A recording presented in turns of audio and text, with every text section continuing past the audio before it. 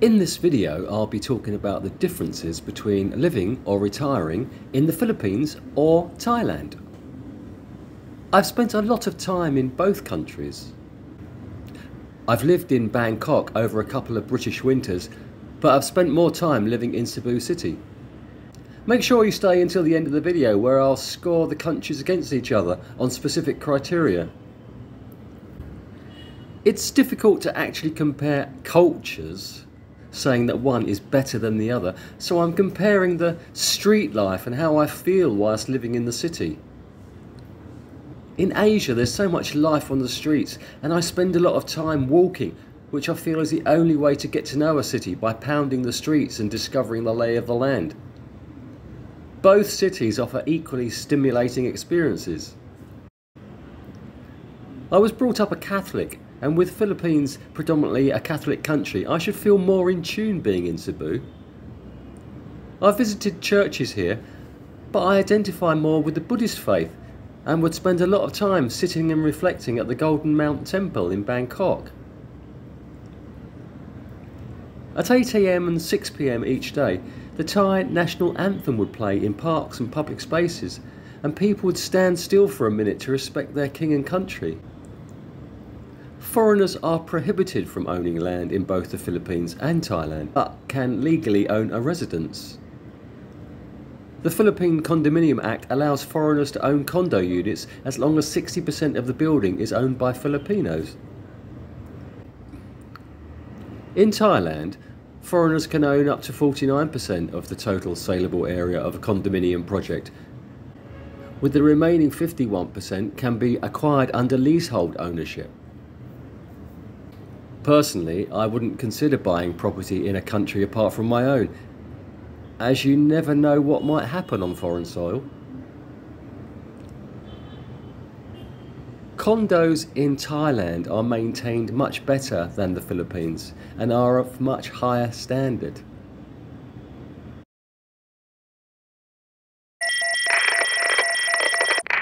Don't miss out on quality broadcasting. Please like and subscribe to Bigg World Cinema. Thank you. Asians love their malls, which are great places to escape from the heat. A mall's a mall, in my opinion. Soulless places are not worth making comparison. There are food options galore in both cities where you could dine out at a different restaurant, cafe, or street stall each night for a year at least. Both cities also have food courts at the malls offering dozens of choices at reasonable prices. Although a lot of the items on Filipino menus will be out of stock, sir. One of the positives about staying in one city for a long time is being able to, to negotiate longer rental contracts to save money. My average monthly cost of living in Bangkok was £725 or $860 per calendar month, as opposed to my monthly cost of living in Cebu, which averages at £525 or $620.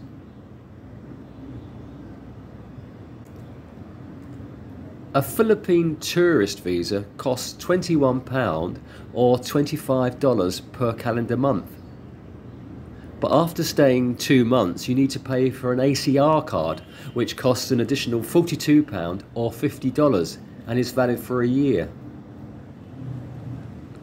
The Thai tourist visa costs £25 or $30 per calendar month for three months. But after three months, you need to do a border run. The Philippines, however, is more tourist friendly where you're able to stay for three years on a tourist visa without needing to leave. If you're over 50, you can apply for a Special Residence Retirees Visa, SRRV. That's if you have a pension of $800 per calendar month and deposit $10,000 into a Filipino bank. You also have to pay $1,500 to process the application. A one year retirement visa for Thailand for those aged 50 or over is a lot cheaper. Costs only £50 or $55 per year. But you must have at least 800,000 Thai baht in a Thai bank account, which equates to £19,000 or $22,000. Or you must have a monthly income or pension of at least 65,000 Thai baht, which equates to £1,500 or $1,800. Or you must have an annual income, pension, or money in a Thai bank, which comes to a combined total of at least 800,000 Thai baht. I would see entertaining a retirement visa in either of these countries uh, as a complete faff and would just carry on getting tourist visas. I've dated both Thais and Filipinas, which I've mostly connected with on dating apps. I've never met anyone on the street in Bangkok, whereas in Cebu you're able to start a conversation with a girl on the street and expect them to speak good in English. When I hit 50 back in the UK, I was suddenly invisible but age gap relationships are acceptable in both countries, and women don't really care how old you are. When I walk down the street in Cebu, I get looks from females of all ages, with dating options endless. The Philippines is your oyster. Je suis un rockstar. My only reservation, and I need to be diplomatic how I say this, is that Thai women age better. I dated a 36 year old Thai followed by a 38 year old who both could have been mistaken for 20 year olds. One of them I nicknamed She's in the Army now as she worked for the Thai military. Thai genes are incredible. However, I don't really trust Thai women. I've heard horror stories of them abandoning loved ones when the money runs out or the man gets sick. The Thai women I dated always seemed to mislay their purses when the bill arrived. She's in the army now, said she couldn't contribute to our meals out as she was saving to buy a condo. I find Filipinas much more generous, trustworthy, and loving. My previous Filipina girlfriend, even though her teaching salary wasn't great, would always buy us meals. They may have trust issues, are madly jealous and clingy, but are totally loyal. Don't miss out on quality broadcasting. Please like and subscribe to Bigg World Cinema. Thank you. If I don't want to walk and I need to go somewhere further, I use public transport. In Cebu, there are taxis, buses, jeepneys, and tricycles. Whereas in Bangkok, public transportation is more expansive there are taxis, buses, tuk-tuks, ferries, overhead monorail, and underground train system. There's also a bus app monitoring when your next bus is going to arrive at your stop.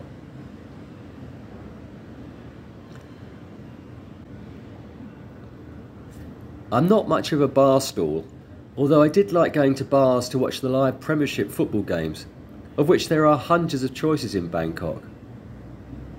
I'm also a fan of a beer in the sunshine and would regularly catch a bus and ferry to Asiatique for a sundowner on the river. Cebu doesn't have that. There are a few rooftop bars, places to drink, but the option of alfresco dining and drinking really can't compare with Bangkok's extensive social scene. Bangkok has a great art scene with a number of art galleries and changing exhibitions throughout the year. One of the biggest things I miss living in Cebu is not having the opportunity to see any artwork. Temporary art exhibitions take place in the shopping malls, displaying work from amateur artists. There doesn't appear to be any large galleries or exhibition spaces showing modern art. There's an abundance of greenery in Bangkok. I'd either go to the gym or do a workout in the local park where there were free exercise machines. I love doing a workout outside in the sunshine. It was a great start to the day. Many people were in the park, jogging, and there were a handful of Thai guys who'd meet each day at Lumpini Park who spoke little English but tried their best to communicate with me. I didn't go there for a week, and when I returned, one of the guys made a friendly gesture as if to say, Oh, you are still alive then? Thais tend to be more physically active. My previous Filipina girlfriend didn't exercise as she said it was tiring. In Cebu, parks are in short supply in the city. There's Plaza Independencia or a few memorial cemeteries where you can jog, but nothing like in Bangkok. In both countries, the sun shines all day.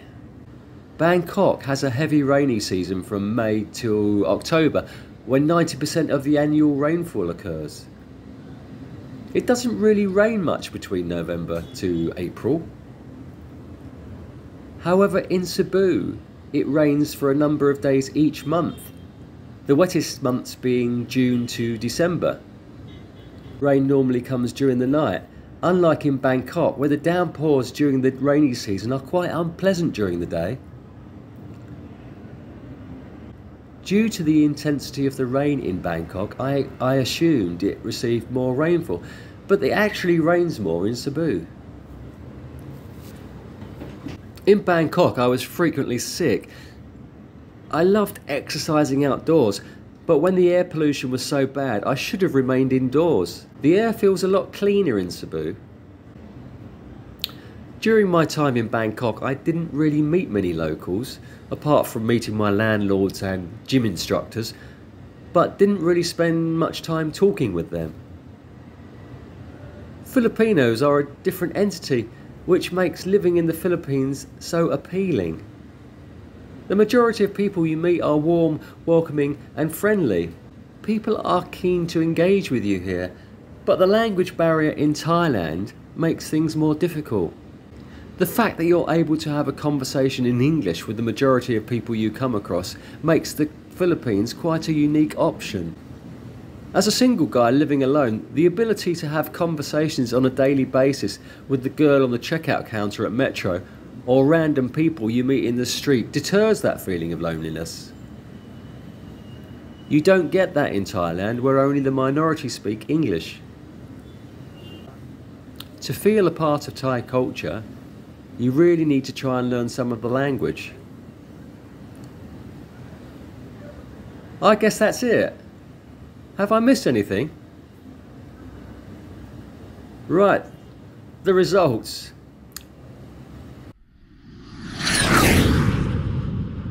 Thailand may tick more boxes, but the people and the ability to have a conversation each day in English are priceless and hold great value.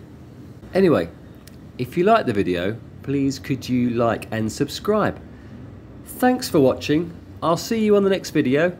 Take care, everyone. Big One Cinema!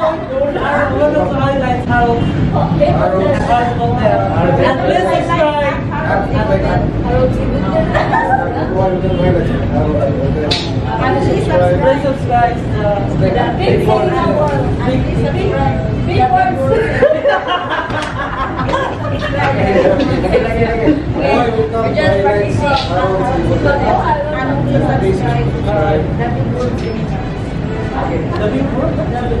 Big One Bigg World, Big